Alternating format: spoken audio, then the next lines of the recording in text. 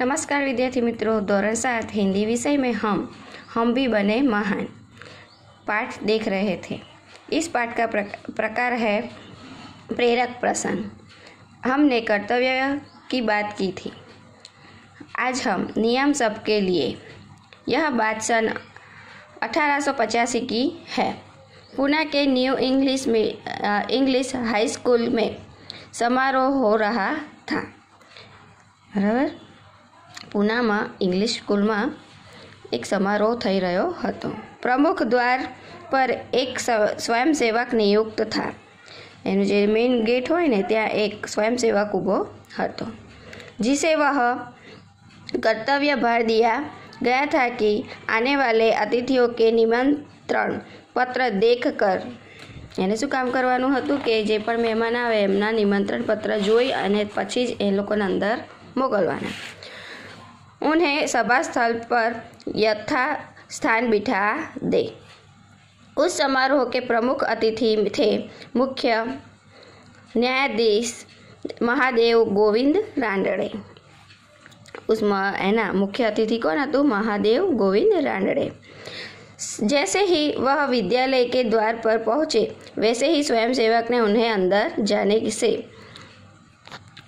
जाने से શાલીનતાપૂર્વક રોક દિયા और નિમંત્રણ પત્ર કી માંગ કી બરાબર પ્રમુખ હતા છતાં પણ એમની જોડે પણ એ શું કરે છે નિમંત્રણ પત્ર માંગે છે बेटा मेरे पास तो निमंत्रण पत्र नहीं है રાણાએ ને કહા કહે છે કે મારી પાસે તો નિમંત્રણ પત્ર નથી क्षमा करें तब आप अंदर प्रवेश न करें कर सकेंगे स्वयंसेवक का नमूना નમ્રતાપૂર્વક ઉત્તર થાય તો શું કહે છે કે ના તો તમે અંદર જઈ શકશો નહીં કહે છે द्वार पर रान- रानड़े को देखकर स्वागत समिति के कई सदस्य आ गए और उन्हें मंच की ओर ले जाने का प्रयास करने लगे બરાબર બધાને ખબર હોય કે આ આ આ સમારોહના મુખ્ય અતિથિ છે એટલે બધા જે બીજા બધા હતા એ બધા એમને લેવા માટે આવે છે અને મંચ સુધી લઈ જવાનો પ્રયત્ન કરે છે પર स्वयंसेवक ने आगे बढ़कर कहा श्रीमान मेरे कार्य में यदि ये स्वागत स्वागत समिति के सदस्य ही रोड़ा अ, अटकाएंगे तो फिर मैं अपना कर्तव्य कैसे भी निभा सकूंगा શું કહે છે કે સ્વ- સ્વયંસેવકો જ જો મને મારા કામમાં અટકાયત કરશે તો હું આગળ કામ કેવી રીતે કરી શકીશ કે છે कोई भी अतिथि हो उसके पास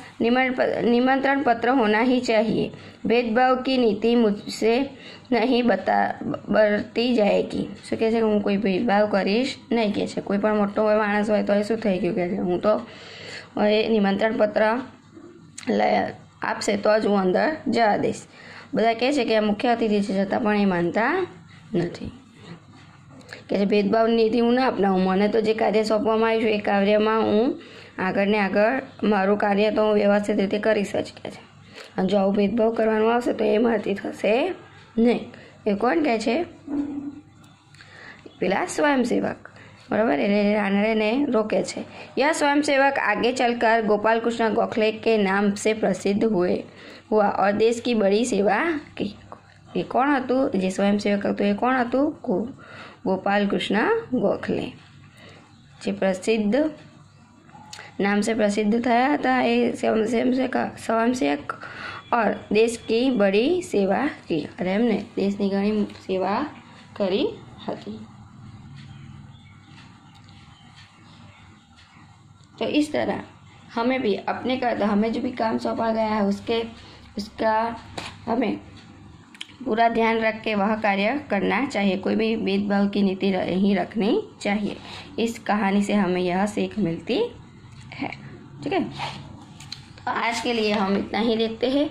अगले वीडियो में हम सफलता का रहस्य, यह कहानी देखेंगे। सभी विद्यार्थी मित्रों को यह कहानी एक एक बार लिख देनी है अपनी नोटबुक में। तो आपको भी अपने हिंदी में अक्सर भी सुधरेंगे और चारों में से कोई एक कहानी लिख लेनी है। अपने अक्सर भी सुधारने हैं, अनुलेखन करके लिख लेनी है, कोई भी एक कहानी। ठीक है? तो अगले वीडियो में सफलता का रहस्य देखेंगे। Thank you